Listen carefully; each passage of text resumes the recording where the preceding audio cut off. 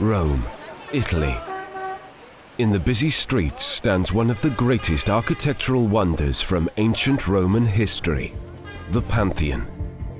Its magnificent design is a lasting testimony to the genius of Roman architects and it stands virtually intact nearly 1800 years after it was constructed.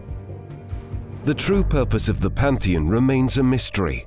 The word Pantheon translates to all gods, so it is believed that it was originally built as a temple to all Roman gods.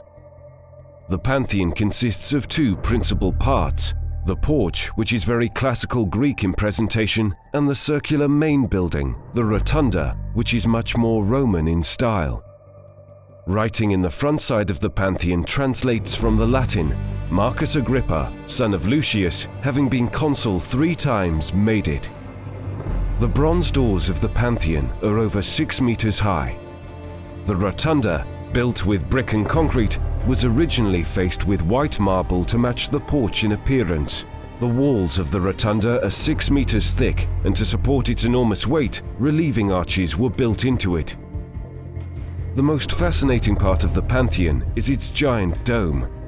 With a diameter of 43 meters, the dome was the largest in the world, and nearly 2,000 years later, it still remains the largest unsupported dome in the world.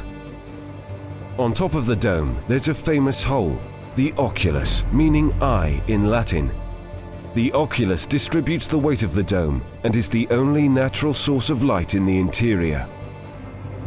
The Pantheon was built for wonder and prestige. When Michelangelo first saw the Pantheon in the early 15th century, he proclaimed it of angelic and not human design. Even today, its mathematical design and simple geometry still impress architects and viewers around the world.